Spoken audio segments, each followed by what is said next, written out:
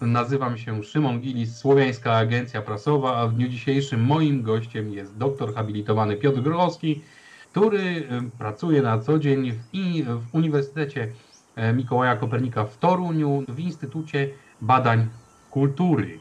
I w dniu dzisiejszym będziemy rozmawiać także o zbliżającym się święcie Wielkiej Nocy oraz porównaniu tego święta do Jary Godów, jakie ponad tysiąc lat temu obchodziło się na ziemi polskiej oraz nie tylko. Będziemy e, porównywali to, jak to wyglądało wcześniej, jak to wygląda teraz, skąd te różnice i jakie są znaczenia poszczególnych rzeczy, które dzieją się w Wielkanoc, na Wielkanoc oraz jakie się działy na Jarę Gody, no a w dniu dzisiejszym już niestety nie są kultywowane w tak dużym, tak, tak dużej części jak sama Wielkanoc, bo też Wam powiem, że Jaregody w dalszym ciągu są kultywowane przez rodzimowierców słowiańskich w Polsce, a i nie tylko.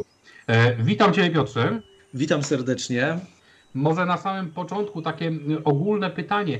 E, czym w ogóle były Jaregody? Jaka jest e, definicja tego słowa Jare? Co to w ogóle jest to Jare? Trzeba by chyba zacząć od tego, że e, te święta, o których będziemy mówić i te obrzędy, one bardzo mocno wiążą się z typem kultury, w której powstały, mianowicie z kulturą agrarną, bo to jest jakby podstawowa sprawa, najważniejsza, że pierwotni Słowianie to, byli, to były kultury agrarne, w których uprawa ziemi była taką podstawową czynnością gospodarczą, dzięki której mogli przetrwać. Więc e, wegetacja, to jakby tutaj mm, docieramy do podstawowej jakby sprawy, mianowicie moment, w którym te mm, obrzędy i święta były praktykowane, to jest moment, kiedy kończy się zima, zaczyna się okres wegetacji I stąd jakby ta e, cała mm, otoczka symboliczna i znaczenia tego, wszystko jakby obraca się wokół e, kwestii płodności i urodzaju. I stąd jakby to słowo jary też jakby odnosi się do tych, do tych znaczeń, tak? czyli jary pełen sił, taki energiczny, zdrowy, młody i tak dalej. To jest jakby no, taka, taka podstawowa i, i źródłowa sprawa, jeżeli chodzi o, o genezę tych, e, tych świąt. Kiedyś, dawno temu, dowiedziałem się o takiej e, fantastycznej tezie. Mi się osobiście ona bardzo podoba, e, ale chciałbym u Ciebie to potwierdzić, jeżeli oczywiście masz taką możliwość. W dawnych czasach człowiek liczył swój wiek za pomocą nie lat, ale wiosen, jakie przeżył. I to było naprawdę bardzo fajne, ponieważ wtedy się rozpoczynał właśnie ten rok wegetacji. Jednakże e, no, gdzieś w przeciągu dziejów straciliśmy e, tą piękną tradycję. Już e, nie mówimy, ile wiosen przeżyliśmy, a ile lat. Ale w dawnych czasach te słowo jare, właśnie o którym mówimy, jest bardzo podobne do angielskiego year, który oznacza właśnie rok. Powiedz mi, czy te słowa mają jakiś wspólny źródłowsłów, czy, czy, czy one są ze sobą spokrewnione? E, być może tak. Znaczy to, to nie jest e, wykluczone, że gdzieś tutaj w, jest jakieś wspólne znaczenie tych słów. Mamy też, bo to jest ciekawe, jest pewna analogia, mm, mianowicie e, słowo gody. E, cykl obrzędów, tutaj troszeczkę się cofniemy, zimowych w Polsce E, czyli te obrzędy, które są praktykowane gdzieś tam od Wigilii Bożego Narodzenia do Trzech Króli, te dni bardzo w wielu miejscach w Polsce były nazywane właśnie gody. E, to jest jakby taka idea, że e, pewien moment oznacza początek roku. Nie? I tak jak w tej chwili mamy początek roku gdzieś tam właśnie w zimą, zimą, tak tutaj y, być może wcześniej jest taka hipoteza, że początek roku był na wiosnę. Stąd ten właśnie rok, czyli year, jak powiedziałeś, oznacza początek roku. Nie? Więc być może tak, tak. To jest, jest jedna z takich hipotez, która e, może wskazywać na to, że to słowo pierwotnie właśnie też oznaczało rok nie? czyli początek właściwie roku, bo tu jakby idea początku jest podstawowa w, w tym myśleniu. E, początek to jest coś, co jest źródłem energii. To jest jakby też możemy sięgnąć tutaj jeszcze głębiej do takiej koncepcji e, mitu wiecznego powrotu, gdzie takie obrzędy z y, początku nie tylko roku, ale w ogóle początku różnych rzeczy, na przykład początku pewnych etapów w życiu człowieka, one sięgają w ogóle do praktyk kosmogonicznych. To znaczy chodzi o to, że żeby coś rozpocząć, musimy sięgnąć do, do źródeł, czyli do tego, jak ten świat gdzieś tam u początku czasów został tworzony i on powstawał, bo tam jakby ta energia taka była skumulowana i my sięgając obrzędowo, jakby naśladując te czyny kosmogoniczne, teraz możemy ten, ten świat jakby na nowo, na nowo ten cykl rozpocząć i on może być jakby takim dobrym cyklem. Więc to jest też pewna hipoteza, która, którą można tu postawić, tak. Szkoda, szkoda, bo naprawdę bardzo ładna tradycja i kiedyś e, z chęcią bym się sam określił, że na przykład przeżyłem te 80 wiosen, czego tobie też życzę. E, no jest takie e, przysłowie stary, ale jary właśnie. Także to jest w tym, tak, w tym tak, temacie. Tak. Powiedz mi, mm, bo porównanie tego święta Jarego z teraźniejszą Wielką Nocą, nawet nie sądzę, że czy jest możliwe, ale w jaki sposób do tego podejść? Dlaczego takie pytanie? Bo mm, e, kulty, znaczy wiemy o tym, że, że ludność, która zamieszkiwała Europę, w pewnym momencie przeszła z e, tego trybu zbieracko-łowieckiego na tryb e, rolniczy i stała się ludnością agrarną. To prawdopodobnie spowodowane było lenistwem, bo nikt nie chciał biegać za tymi zwierzętami, a fajnie byłoby je hodować. I tak szczerze mówiąc, przyglądając, przy, przyglądając się e, tym świętom e, religii natywnych Europy, to one zazwyczaj e, właśnie za sprawą tej agrarności ludności e, występują mniej więcej w tym samym czasie. Mm, a czy święto Wielkiej Nocy, które no, oczywiście jest na pamiątkę zmartwychwstania Jezusa Chrystusa, bardzo wiąże się z takimi jarymi świętami, bo też jest to pewnego rodzaju mm, e, no, narodziny, nowość, e, zdrowie, ta, ta młodość niesamowita, bijąca z tego wszystkiego. Jednakże moje pytanie, czy na pewno w tych dniach Jezus zmartwychwstał? Więc tutaj jakby ważna jest jedna kwestia, że w kulturach agrarnych obrzędowość była związana z cyklem solarnym. I te obrzędy, o których mówimy, czyli te, które no, nazywa się, w, przynajmniej w kontekście współczesnego rodzimowierstwa, jarymi godami, e, te obrzędy, one były lokalizowane w okolicach równonocy wiosennej.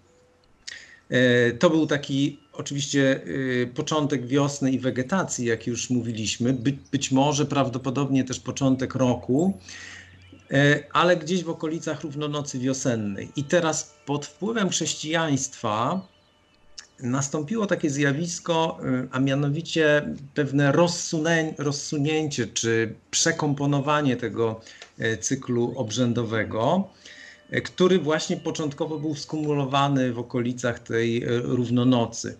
E, ze względu na Wielki Post, który, no jak wiemy, w chrześcijaństwie jest takim okresem no niesprzyjającym obrzędowości, a w, a w każdym razie takim bardziej spektakularnym, radosnym formom obrzędowym. E, pod wpływem tego Wielkiego Postu ta pierwotna obrzędowość, ona została jakby przekomponowana w tym sensie, że częściowo ona się przesuwa e, w kierunku e, zapustów, czyli przed Wielkim Postem, a częściowo się przesuwa po Wielkim Poście, czyli Wielkanoc. I to bardzo dobrze widać, jeżeli tak przyjrzymy się, jakie obrzędy, co ludzie dokładnie robili, jakie sensy i funkcje się z tym wiązały, to widać, że, że tu pewne rzeczy się pokrywają. To znaczy, że to, co się robi w zapusty, ma później jakieś po, po, powtórzenie w tych praktykach, które związane są e, z Wielkanocą. Jeszcze trochę dalej po Wielkanocy, cały tak zwany tydzień przewodni, czy niedziela przewodnia, e, to są podobne praktyki. E, jest jeszcze coś takiego, mniej może znana rzecz jak śródpoście, to znaczy mm, czwarta niedziela Wielkiego Postu, tak zwana, czasami też nazywana śmiertną niedzielą albo czarną niedzielą. tutaj też pewne praktyki obrzędowe e, występowały, czyli takie w połowie tego Wielkiego Postu, co, co mniej więcej jakby tutaj ten połowa Wielkiego Postu, ona trafia mniej więcej w tę, w tę równonoc. E, więc pod względem czasowym, no to tak mniej więcej wyglądało, tak? To znaczy, że pierwotnie można przypuszczać, że to było lokalizowane właśnie w okolicach równonocy, a potem pod wpływem e, chrześcijaństwa i Wielkiego Postu, to, to się przesuwają się te obrzędy. I teraz jak popatrzymy na to, jakie obrzędy w XIX wieku i XX wieku w kulturze ludowej są związane z zapustami, śródpościem i Wielkanocą, no to widać jakby duże podobieństwo tych obrzędów. No i można tutaj się domyślać, czy stawiać takie hipotezy, że gdzieś tam są wspólne korzenie tych obrzędów właśnie w tych wierzeniach jeszcze przedchrześcijańskich. Ja tutaj zauważyłem taką fajną rzecz, bo e, widzę, że wierzenia natywne tutaj Europy były bardzo, bardzo pragmatyczne. E, w tamtych czasach przed e, jarymi godami, bądź na przykład we współczesnej Polsce przed Wielkanocą nie odbywały się te święta z racji prawdopodobnie niedostatku jedzenia, żeby można było świętować no, hucznie i przyjemnie. Słowianie lubią takie rzeczy. E, ale mam pytanie ciekawe, bo ostatnio widziałem dyskusję i też się do niej dołączyłem. Jestem mega niesamowicie ciekaw e, tego, kiedy dokładnie Słowianie obchodzili Jaregody. E, sam wspominałeś, że było to związane z cyklem słonecznym i Jaregody są blisko, gdzieś na, blisko równonocy wiosennej. No i tak, co? Tak. Niektórzy ludzie mówią, że Jaregody powinny być odprawione w dniu, kiedy jest zrównanie dnia, noco, dnia z nocą. Ale równonoc nie równa się zrównania dnia, noc, dnia z nocą. Równonoc e, to jest taki e, specyficzny dzień, kiedy to słońce przechodzi punkt e, barana na horyzoncie, znaczy na horyzoncie, na nieboskłonie. I teraz powiedz mi, czy jest gdzieś jakaś informacja, jak bardzo dokładnie Słowianie mieli możliwość określić właśnie ten dzień, kiedy to miały właśnie się odbyć Jaregody. Czy to była właśnie badali długość dnia, co mi się osobiście wydaje niezbyt możliwe, bo chronografy były, chronometry były, były no, chyba w XVI wieku, dopiero czy w XVII dosyć dokładne zrobione, mm, ale no, śledzenie Słońca i gwiazd było dosyć łatwą rzeczą. Mhm. E, no, muszę powiedzieć szczerze, że tu nie jestem w stanie odpowiedzieć na to pytanie e, z kilku powodów. Znaczy, tak, po pierwsze, ja nie jestem jakimś wybitnym specjalistą ani od kwestii astronomicznych, ani też od kwestii związanych z przedchrześcijańską słowiańszczyzną, w tym sensie, że ja się głównie zajmuję wiekiem XIX i XX i etnografią, kulturą ludową XIX i XX wieku. Więc o ile mi wiadomo, ja przynajmniej nie spotkałem takich źródeł, które by jakby bardziej precyzyjnie mówiły o tym, czy cokolwiek wiemy na temat tego, w jaki sposób przedchrześcijańscy Słowianie e, ustalali terminy swoich świąt.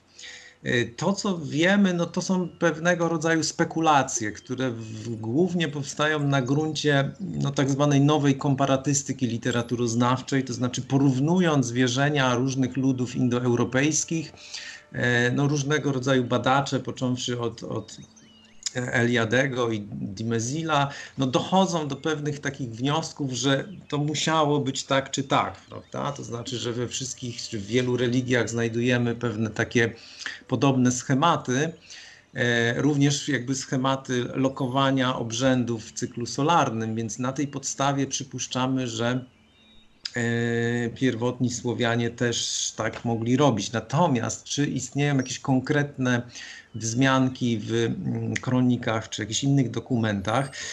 Tego muszę powiedzieć nie wiem, nie, nie jestem pewien. Natomiast co do, mm, bo pytałeś o techniczne możliwości jakby obserwowania ty, tych zjawisk. No tutaj były pewne takie hipotezy stawiane, ale w odniesieniu do XIX-wiecznej kultury ludowej, no, czy chłopi na przykład byli w stanie prowadzić obserwacje astronomiczne. No wydaje się, że w jakimś zakresie tak, to znaczy, że przy pomocy pewnych metod można było jakby prowadzić e, takie proste obserwacje astronomiczne, więc no nie da się oczywiście wykluczyć, jest to dość prawdopodobne, że Słowianie też e, przedchrześcijańscy by, byli w stanie to robić. Także myślę, że mieli takie możliwości jakby intelektualne, żeby ten dosyć precyzyjnie wyznaczać te, te, te terminy. Mhm, dobrze, to wróćmy jeszcze to, trochę do, do, do teraźniejszych czasów, do bliższych e, naszego życia.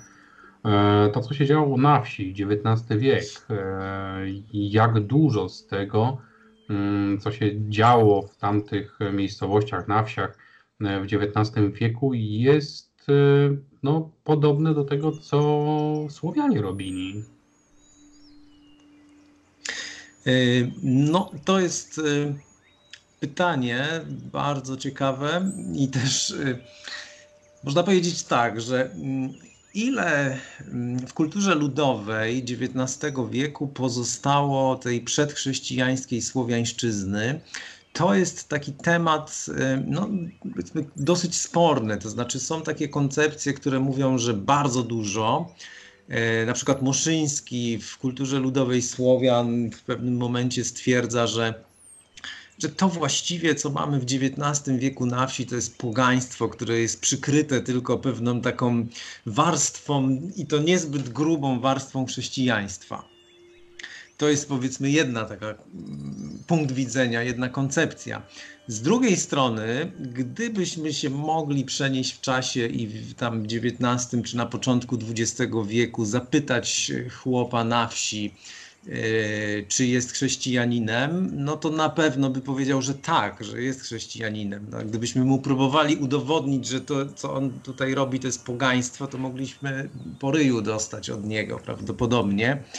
E, więc y, E, z tego punktu widzenia to oczywiście była kultura chrześcijańska. Natomiast e, jeżeli przyjrzymy się temu uważnie, to rzeczywiście wiele tropów i wiele motywów, które tam się pojawiają, no najprawdopodobniej ma dużo, dużo e, starszą proweniencję i jest jeszcze przedchrześcijańska. Część z tych rzeczy jest dosyć dobrze też poświadczona w różnych źródłach E, na przykład w źródłach średniowiecznych. No powiedzmy, jeżeli jesteśmy przy tym, tych obrzędach wiosennych, bo to jest na przykład taki, myślę, ciekawy, mm, ciekawy trop, e, powszechnie e, znane mm, topienie marzanny na przykład, które zresztą w kulturze ludowej nie zawsze było topieniem i nie zawsze marzanny, bo to w wielu miejscach była śmierć czy śmiercicha, którą niekoniecznie e, topiono, ale na przykład palono, albo rozrywano, albo i palono, i topiono.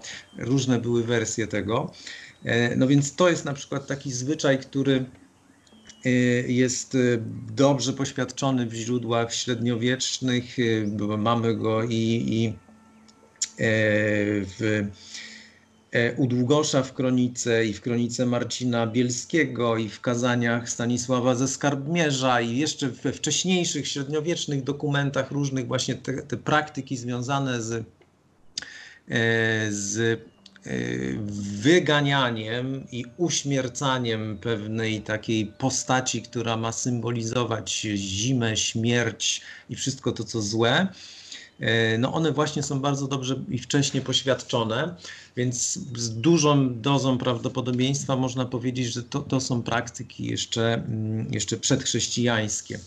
E, tych wątków, e, tych wątków przedchrześcijańskich rzeczywiście mm, jest bardzo dużo w tej obrzędowości E, wiosennej i, i wielkanocnej, no bo to jest jakby, nie wiem, gdyby wymienić takie główne, jakby główne wątki tylko w, w ogólnie, no to oprócz tego mm, wyganiania śmierci czy zimy, to mamy znowuż taki wątek mm, wprowadzania jakiegoś nowego życia, czyli y, gaik, prawda, który pojawia się tuż po, albo czasami nawet równolegle do mm, palenia czy topienia marzanny.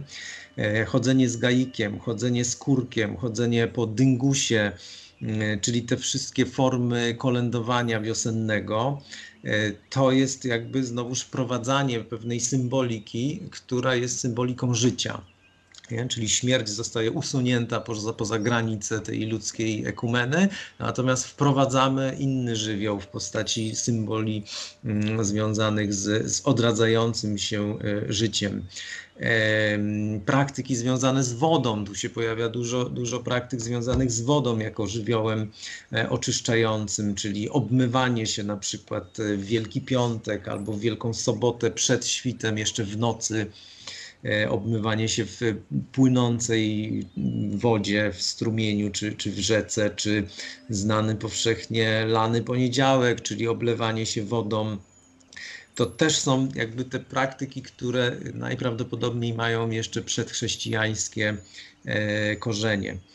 E, bardzo ważnym takim wątkiem E, są, są aspekty zaduszkowe. W tej chwili jakby mało się o tym pamięta, mało się wie o tym, e, ponieważ w obrębie e, oddziaływania Kościoła katolickiego, ta wielkanocne zwyczaje, one zostały dosyć mocno wyczyszczone z tych, z tych elementów zaduszkowych, ale na przykład już w obszarze oddziaływania kościołów prawosławnych tam jest inaczej, to znaczy te elementy zaduszkowe, one się bardzo wyraźnie mm, zaznaczają, bo ten moment y, wiosennego, wiosennej równonocy, początku, e, on jest również momentem zaduszkowym, czyli można powiedzieć, że to, to są takie wiosenne dziady. E, I tutaj też, też różne tropy e, w tej naszej obrzędowości się znajdują. No, począwszy od tego, że powstrzymywanie się od różnego rodzaju prac. Wielki tydzień, zwłaszcza od Wielkiego Czwartku, Wielki Czwartek, Wielki Piątek, Wielka Sobota na wsi obowiązywały bardzo rygorystyczne zasady dotyczące wykonywania pewnych prac. Nie wolno było wykonywać prac takich ciężkich, prac, które wywoływały hałas, na przykład młócenia, orania i w ogóle wszelkich takich ciężkich prac, ale też na przykład przędzenie czy tkanie to też były prace zabronione. I tego typu zakazy pracy, one wyraźnie wskazują na mm, taki zaduszkowy charakter tego okresu, ponieważ wierzono w to, że dusze zmarłych przybywają na ten świat i nie wolno ich niepokoić. W związku z tym ludzie powinni się zachowywać cicho i spokojnie, bo zmarli nie lubią, nie lubią hałasu. No Inny tak? Przerwę na chwileczkę. Dotrzemy jeszcze do, do, następnych rzeczy i ja chcę przerwać, dlatego, ponieważ um, usłyszałem właśnie u Ciebie coś niesamowicie ciekawego, e, jeżeli chodzi o to przędzenie i tkanie. E, gdzieś słyszałem taką e, teorię, że e, w dawnych czasach nie przędzono i nie tkano w dni świąteczne, kiedy właśnie zmarli przybywali z zaświatów do, do swoich domostw, żeby ich nie wpleść albo nie wtkać w tą nić, tak? Tak, dokładnie. Y, wie, bardzo często spotyka się takie właśnie wytłumaczenie tego, mm, tego zakazu. Y, w ogóle te, te różnego rodzaju zakazy prac i, i, pewnych zachowań, które wiążą się z okresami zaduszkowymi, no one właśnie wiążą się z takim wyobrażeniem, że zmarli przychodzą, my ich nie widzimy, więc trzeba bardzo uważać, ale oni są i, i zmarli w takich tradycyjnych wyobrażeniach oni mają taki aspekt dosyć mocno jednak materialny, to znaczy są duchami, ich nie widać, ale z drugiej strony posiadają pewien pierwiastek takiej, no powiedzmy, cielesności, to znaczy, że można na przykład ich niechcący przywiązać, prawda? I, o, I oni wtedy nie będą mogli odejść z powrotem na tamten świat, co będzie bardzo niekorzystne, tak? Bo my jakby ludzie wierzyli w to, że ta, ta, ich obecność tutaj, te powroty są jak najbardziej normalne i wskazane, ale oni powinni tutaj przybyć, zostać ugoszczeni, trzeba było ich nakarmić, napoić, ogrzać i potem mieli odejść na tamten świat. Natomiast gdyby ktoś właśnie tkając czy przędąc przez nieuwagę taką duszę zmarłego gdzieś tam przywiązał, no to ona by nie odeszła wtedy z powrotem na tamten świat i niepokoiłaby tutaj ludzi żyjących. Nie? Tak samo na przykład w, w przypadku różnego rodzaju wieczerzy, takich zadusznych, które odbywały się w domu, no przestrzegano na przykład takiej zasady, żeby nie wykonywać gwałtownych ruchów, tak? To znaczy, że trzeba było się pomału przemieszczać, pomału siadać, pomału sięgać, właśnie dlatego, żeby jakimś takim nagłym, nieprzemyślanym, gwałtownym ruchem też nie, nie potrącić nie, tego zmarłego, który gdzieś tu w pobliżu przebywał. Pamiętam jakiś czas temu oglądałem piękny dokument, a nawet i dwa chyba. Jeden to jest o e, staro, e, jak oni się mogli nazywać, starowiercy z Rosji, z tundry i tajbi syberyjskiej. Fantastyczni naprawdę ludzie, jeżeli chodzi o wierzenia. E, I gdzieś też właśnie w Rosji, e, przed Uralem jeszcze jest wioska, gdzie jak były dziady, to oni spożywali tą kolację z, ze swoimi przodkami przy jednym stole, ale była tam cisza jak makiem zasiał.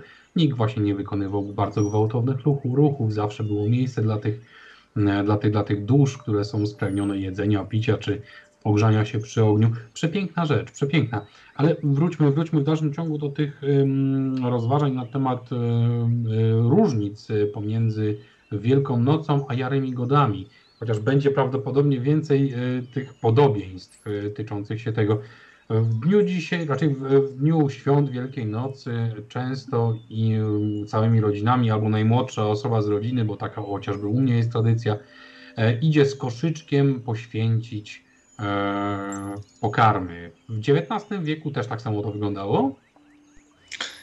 Yy, tak, no, święcenie pokarmów jest. Yy dosyć dobrze udokumentowane i ma długą tradycję, przy czym na wsi mm, zwykle to wyglądało w ten sposób, e, że ksiądz przyjeżdżał, nie wszędzie były kościoły, nie wszędzie były parafie, więc bardzo często wyglądało to w ten sposób, że ludzie po prostu ustawiali się wzdłuż drogi, wystawiali tam swoje jedzenie, no i ksiądz przyjeżdżał i przy drodze po prostu e, święcił to.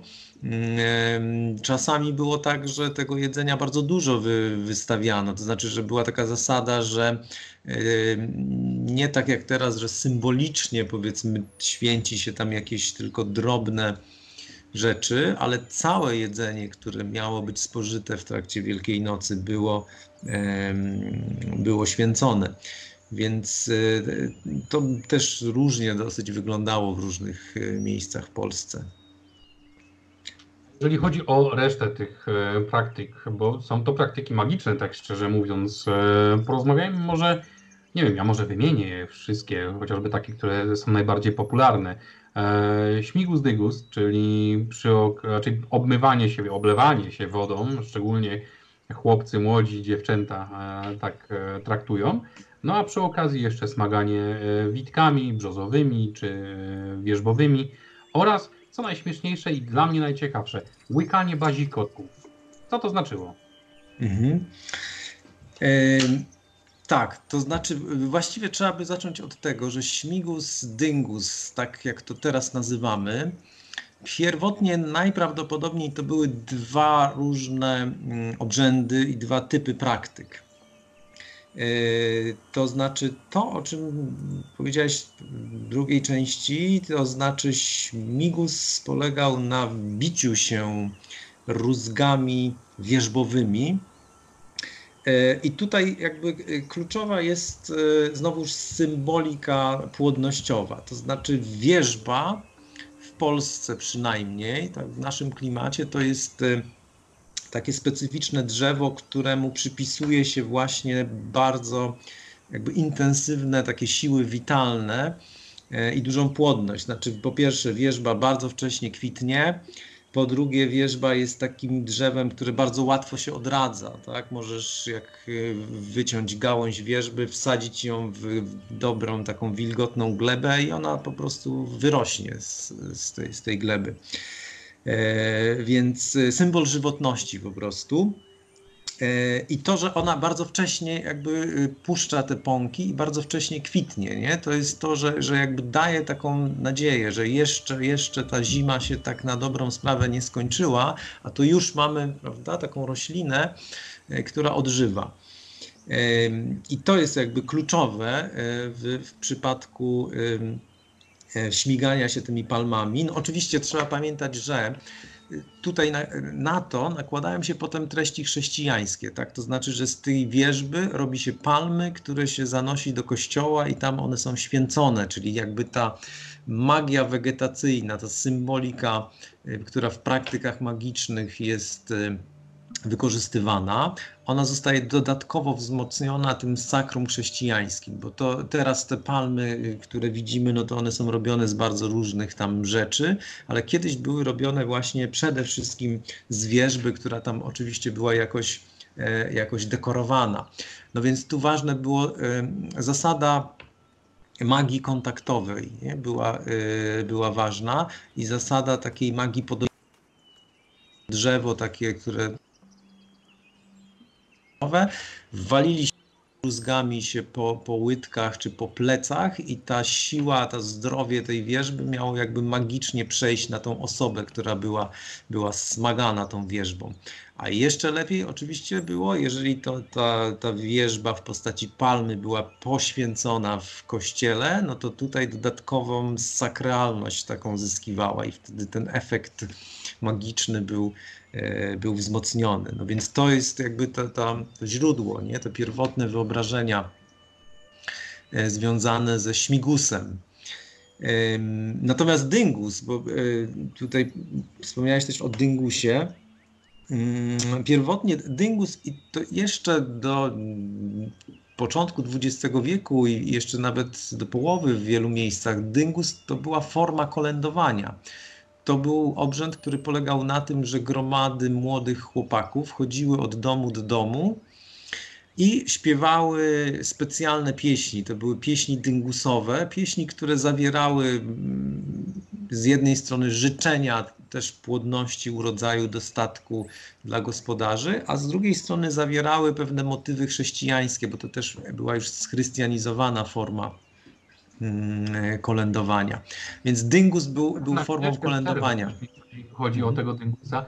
E, czy to nie miało też aspektu pragmatycznego, że ci młodzi chłopcy chodzili sobie kolędować do gospodarzy, ale przy okazji podglądając, e, co która ładniejsza panna, a nóż widelec może będzie moją żoną.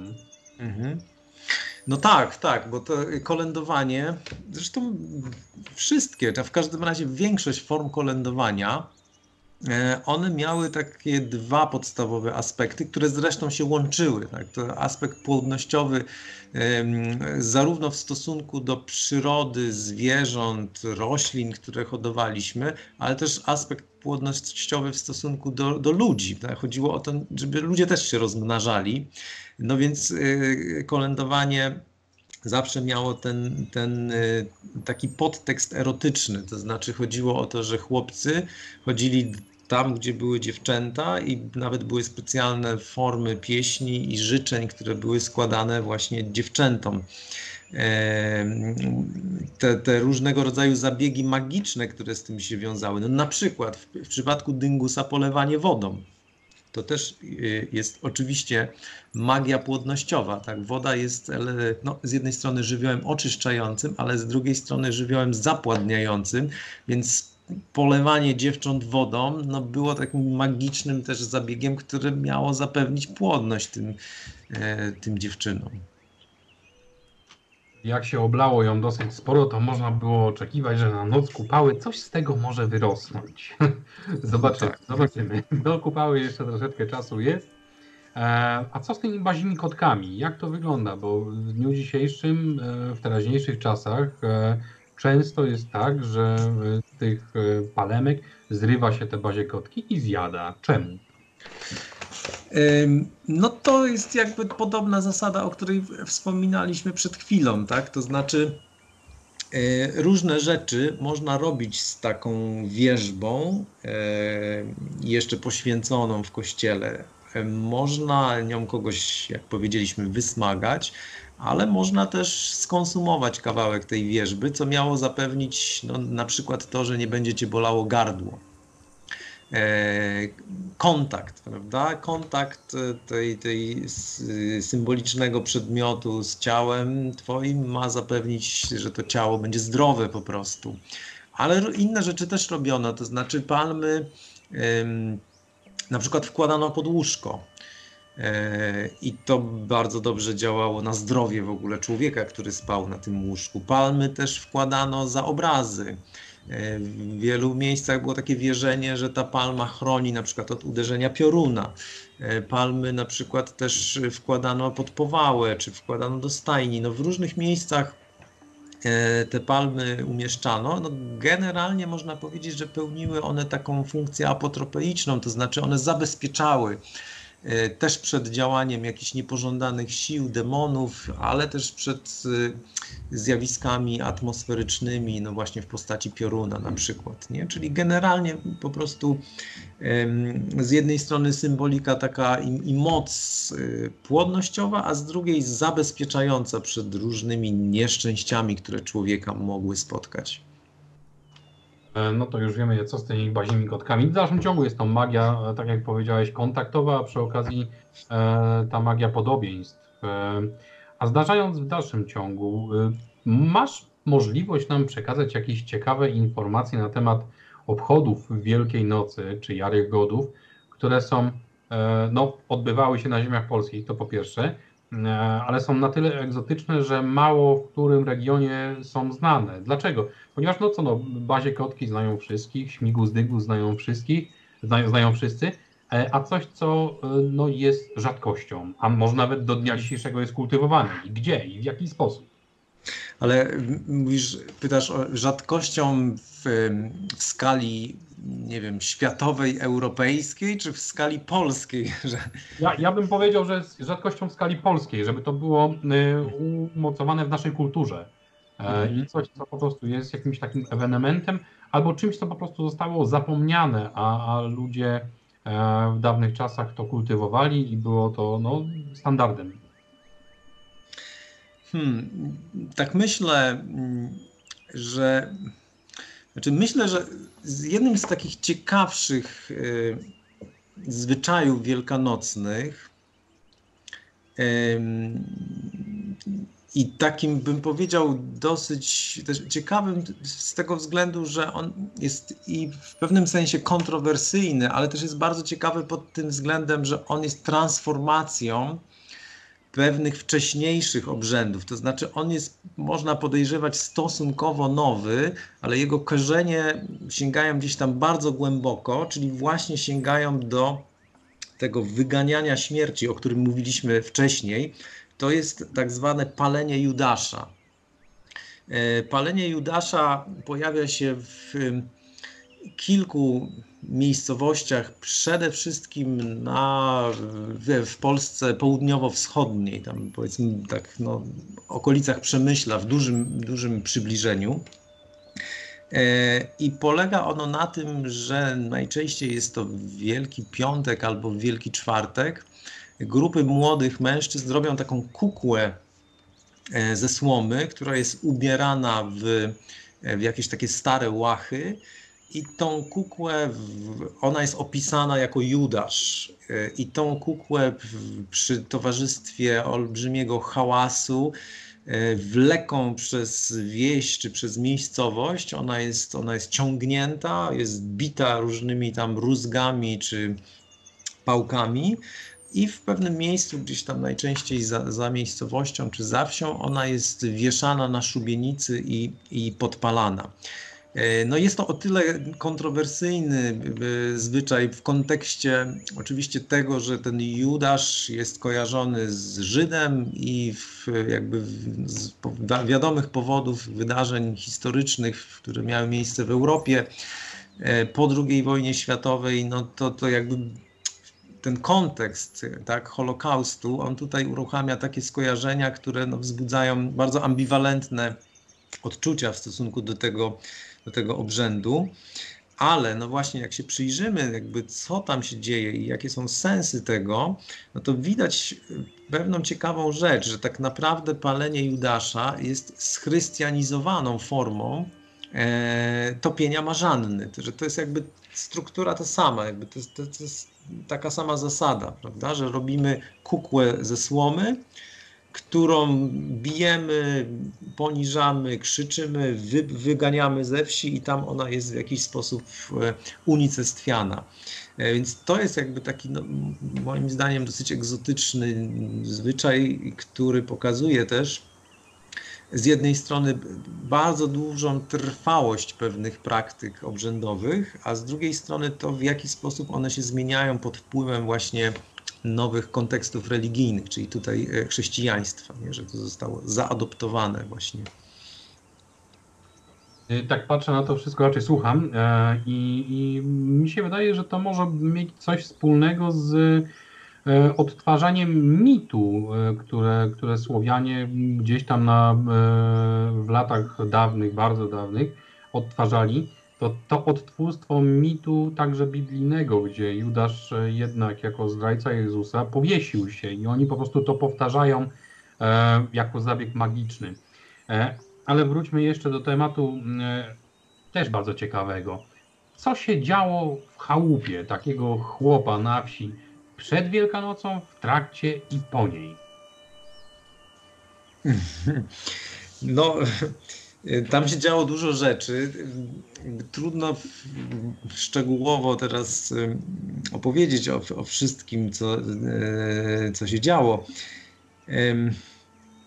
To znaczy, mm, myślę, że y, kluczowe są tutaj te wątki, o których wspomniałem wcześniej. To znaczy, wątek wegetacyjny, tak? To znaczy, że to jest jakby, to były święta, w których jakby zaczyna się nowe życie, nowy rok. Jakby to jest podstawowa sprawa. Oczywiście y, ten kontekst chrześcijański tutaj y, w przypadku tego chłopa XIX-wiecznego jest już, y, jest już bardzo ważny. Czyli jakby to, to się wszystko odbywa w tej otoczce chrześcijańskiej, ale mm, jakby te podstawowe praktyki, to co się dzieje, jakby to jest ukierunkowane na zapewnienie dostatku płodności, właśnie to, żeby tam na polu się wszystko dobrze, dobrze rodziło. E, więc e, przede wszystkim sprzątanie, tak? To jest jakby e, mamy, mamy nową, jakby mamy początek, tak? Początek, zaczynają się prace w polu, czyli kończy się ten okres zimy, uśpienia, wszystkiego, zaczynamy coś nowego, więc trzeba posprzątać, bo to jest podstawowa zasada. Żeby coś dobrze zacząć robić, to trzeba najpierw zakończyć to, co, to, co było wcześniej, prawda? Czyli sprzątamy, czyli wszystkie chałupy, obejścia i tak dalej muszą, muszą być, e, e, muszą być wysprzątane. E, no oczywiście y, przygotowuje się duże ilości e, pożywienia, tutaj jakby w kontekście znowuż tych elementów zaduszkowych, tak, bo to jest y, gdzieś jakby w katolicyzmie to, to, to, już są takie treści głęboko ukryte, ale musimy pamiętać, że, że to jest ten moment też, gdzie zmarli wracają, dusze zmarłych wracają. I teraz trzeba tych zmarłych ugościć, to znaczy musimy mieć jedzenie, żeby prawda? Żeby to dobrze zacząć ten nowy rok i ugościć zmarłych, ale też siebie ugościć.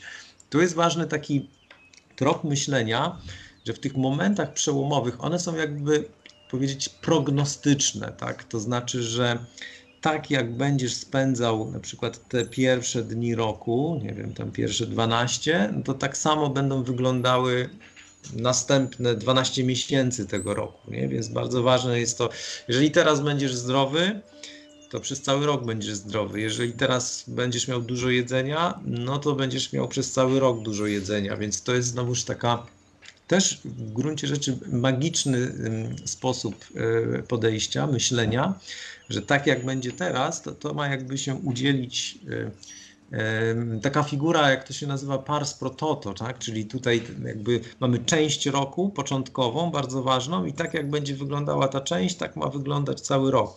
Więc ważne było to, żeby mieć dużo jedzenia e, na początku tego roku, żeby wszystko uporządkować, wysprzątać. Nie? Mhm, a ten dzień wielkanocny, jeżeli chodzi o samą niedzielę, bo w tej chwili to wygląda mniej więcej tak, że w sobotę e, ktoś idzie oczywiście poświęcić symboliczne jedzenie, które się na następny dzień przy śniadaniu wielkanocnym e, wystawia na, na stół. I oczywiście zaczyna się już e, no, śniadaniem ciekawym, bo już bardzo dużo jedzenia jest na tym stole. Ale później oczywiście też dosyć suty obiad i kolacja i pojawia się najprawdopodobniej też alkohol, bo na następny dzień wszyscy mamy wolne. Czy tak samo to wyglądało w XIX wieku? Zasadnicza zasada, mm, można powiedzieć, jest taka, że w, na wsi w pierwszy dzień świąt Wielkiej Nocy. Zresztą podobnie było w przypadku Bożego Narodzenia. Pierwszy dzień świąt w zasadzie nic się nie robiło. To znaczy, jedzenie trzeba było przygotować wcześniej i to się konsumowało, znaczy do tego stopnia nawet, że nie rozpalało się pieca, to znaczy to jadło się zimne jedzenie. E, ten, y, ten zakaz prac, też o którym mówiliśmy wcześniej, jakby on był na tyle silny, że jakby nawet obowiązywał zakaz rozpalania w piecu.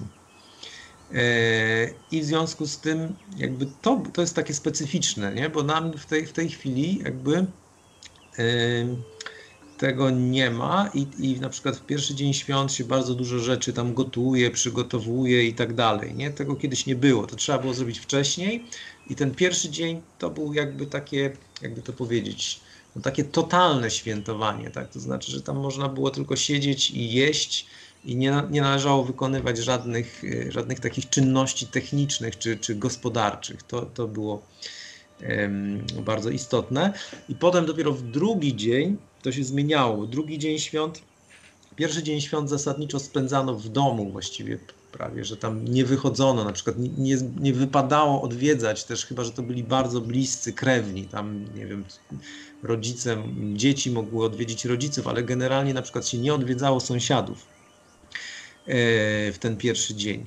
Dopiero drugi dzień yy, świąt, on był znowuż takim dniem, można powiedzieć, społecznym. Właśnie tutaj dochodziło do różnego rodzaju interakcji między społecznością wiejską, czyli właśnie kolędowania, odwiedzania, oblewania się wodą, yy, wspólnego yy, świętowania w jakimś tam większym, większym gronie. To, to była taka, no można powiedzieć, specyficzna rzecz dla, dla świąt Wielkiej Nocy.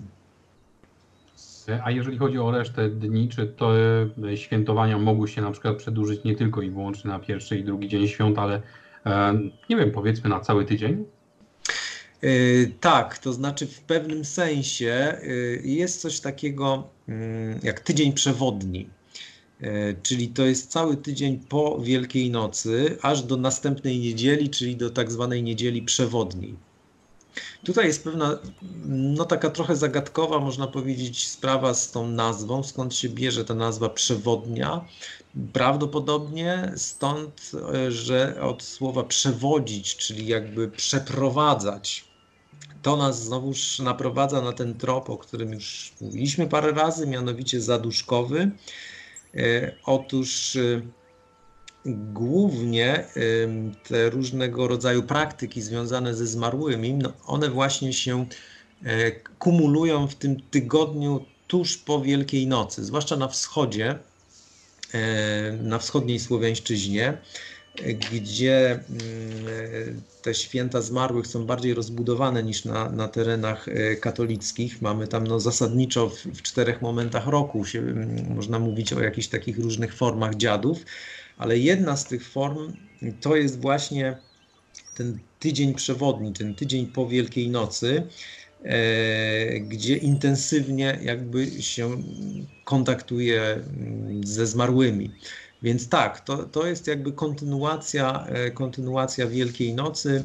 E, ona się, można powiedzieć, że ten okres się kończy wraz mm, z niedzielą przewodnią, czyli tą pierwszą niedzielą po Wielkiej, Wielkiej Nocy. No w pewnym sensie, jak szerzej jeszcze byś chciał na to spojrzeć, to mm, pewne praktyki obrzędowe, e, one się właściwie przeciągają na całą wiosnę, bo potem mamy znowu zielone świątki, czyli 7 tygodni po, po Wielkiej Nocy, tak? W chrześcijaństwie to jest zesłanie Ducha Świętego.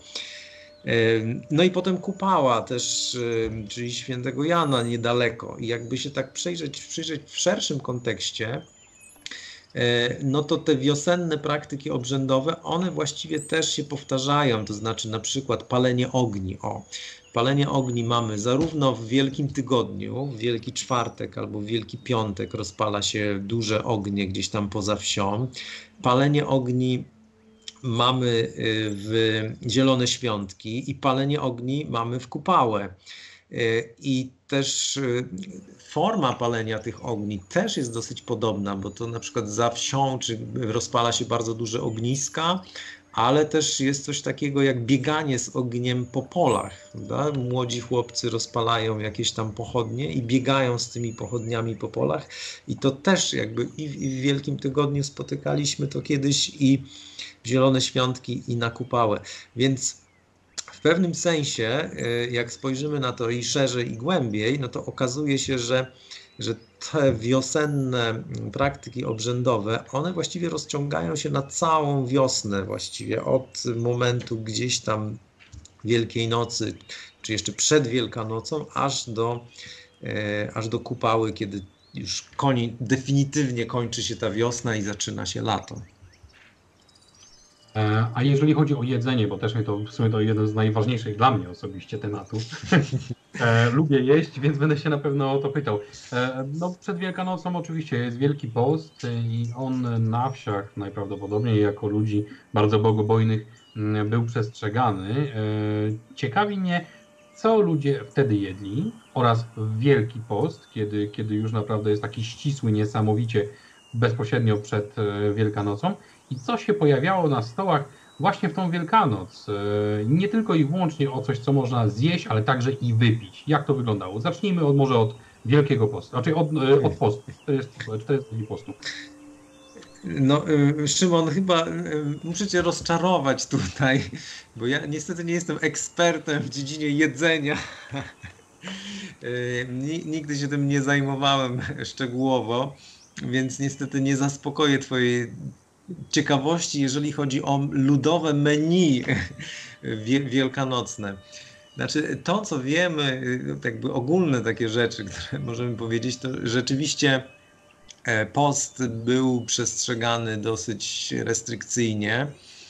Natomiast no, warto pamiętać o jednej rzeczy, że w ogóle wtedy jadano inaczej niż, niż teraz jemy. To znaczy, jadano dużo gorzej i na przykład taki efekt, który bardzo często się spotyka mm, w tej chwili, że ludzie w czasie świąt mówią, o, już nie mogę jeść, już się tak najadłem, on był w zasadzie niespotykany kiedyś. To znaczy, że ludzie zasadniczo na co dzień jedli słabo, w związku z tym święto było rzeczywiście takim momentem jednym z niewielu momentów, kiedy można było się porządnie najeść. I to, to, z dużą przyjemnością i rzeczywiście ludzie wtedy jedli. Na przykład w wielu, w wielu rodzinach czy w wielu sytuacjach to był jedyny moment, kiedy jedzono mięso, bo tak na co dzień to tego mięsa bardzo mało się dawniej mm, na wsi spożywało.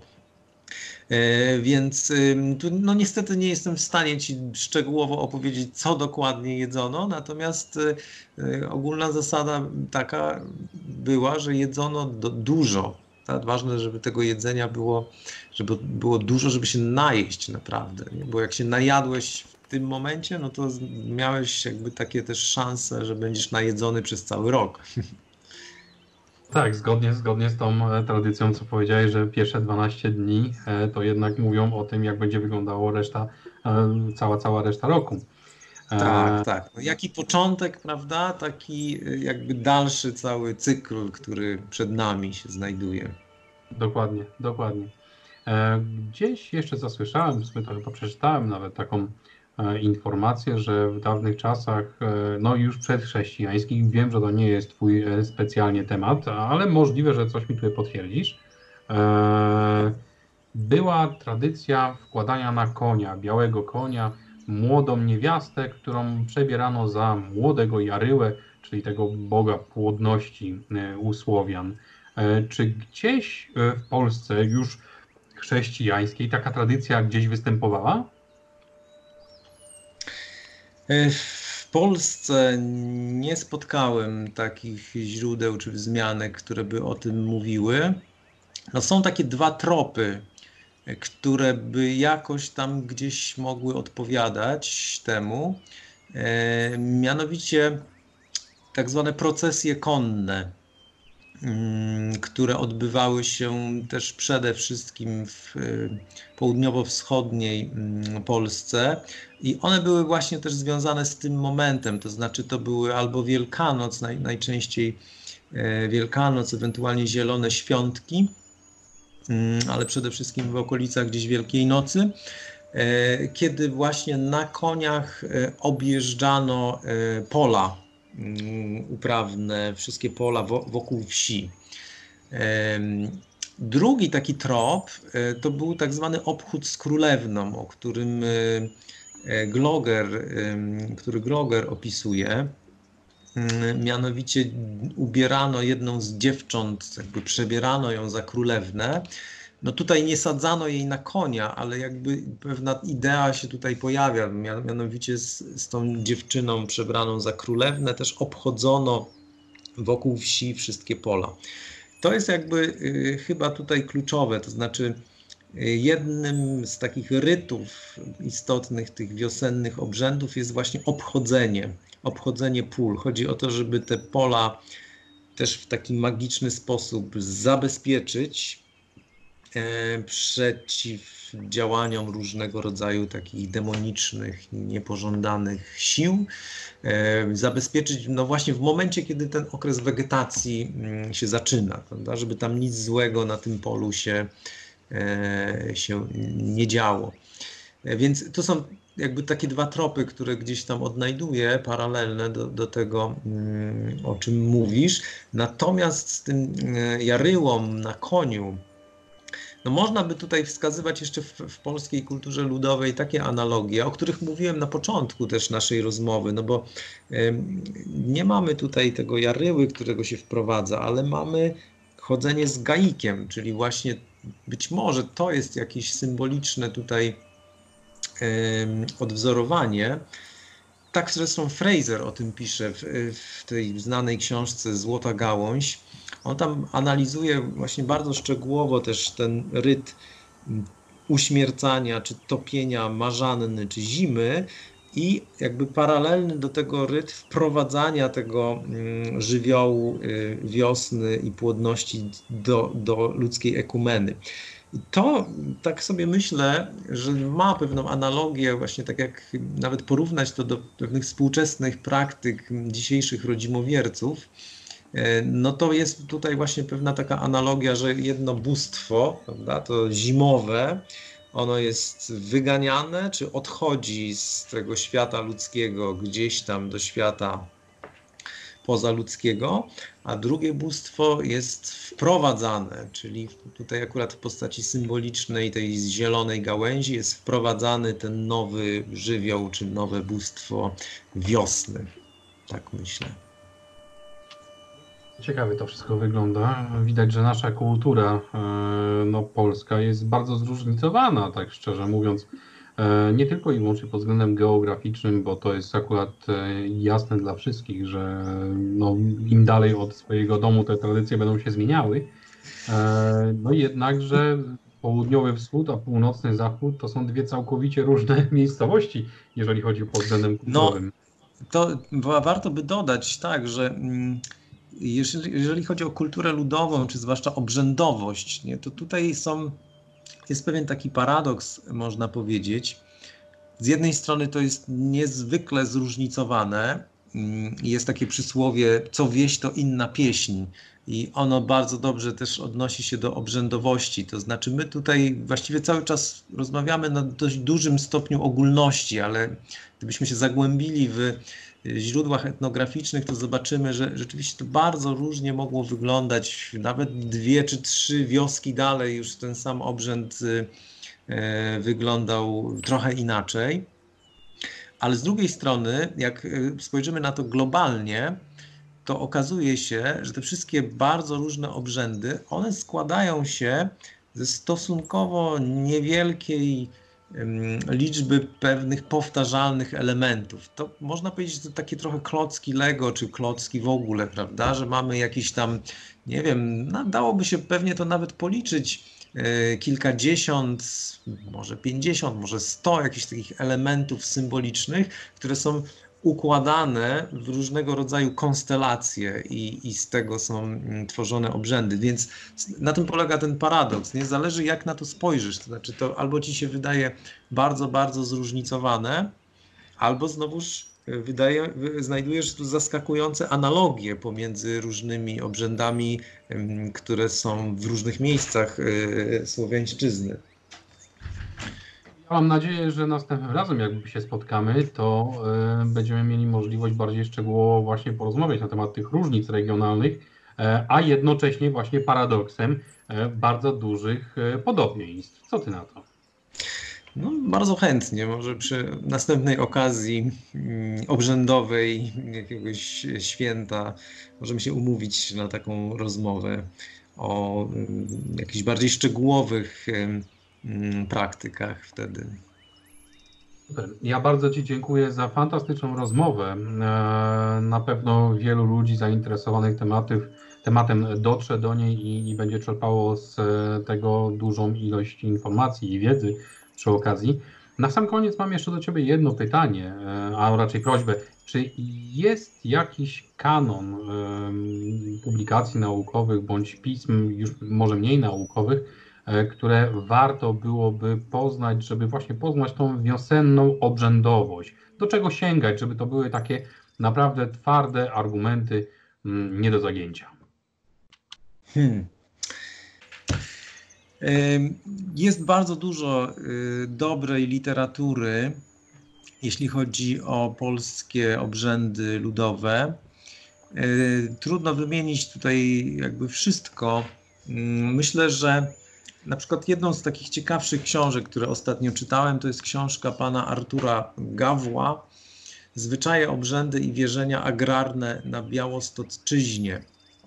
Ona no, oczywiście odnosi się, tak etnograficzny materiał jest z Białostoczyzny, ale mm, ta książka ma też dużo szerszy jakby taki rozmach, to znaczy pokazuje tę Białostoczyznę w kontekście e, całej właściwie polskiej kultury ludowej i też słowiańszczyzny.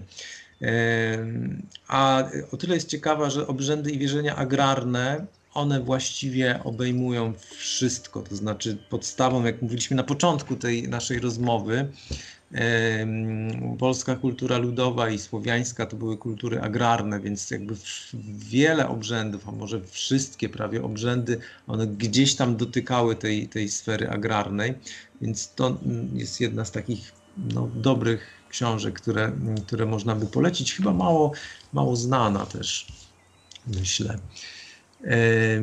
No jest sporo takich książek, które dotyczą pewnych y, obszarów. No, Wielkopolski Rok y, Obrzędowy Bręcza to jest też dosyć dobra, mm, y, dobra książka, którą można by polecić. Tyle chyba jak na razie wystarczy. To jak ludzie będą chcieli cokolwiek, to mam nadzieję, że następnym razem będziemy mieli, mogli, będziemy mieli możliwość e, przekazać troszeczkę więcej informacji na temat takich właśnie publikacji. E, a jeszcze prawdopodobnie też wspomnimy o Twojej własnej publikacji, ale przy okazji już Święta Dziadów, które no, jest teraz akurat na wiosnę, przy, przy, mm, obchodzą to rodzimowiercy słowiańscy, e, a później na przełomie października i listopada w całej Polsce już nie tylko i wyłącznie rodzimowiercy, ale także i katolicy czy, czy rzymskokatolickie wyznanie. Ja Tobie bardzo dziękuję za wspaniałą rozmowę e, i, i no, tak jak wcześniej powiedziałem, mam e, wielką nadzieję i ochotę przeprowadzić kolejne takie rozmowy na jakieś kolejne tematy, zbliżające się chociażby Noc Kupały, jak to wyglądało na wsiach. Mm, dziękuję Ci bardzo. Miejmy nadzieję, że zobaczymy się e, już za niedługo. A moim gościem był doktor habilitowany Piotr Grochowski. Ja się nazywam Szymon Gilis, Słowiańska Agencja Prasowa. Dziękuję bardzo.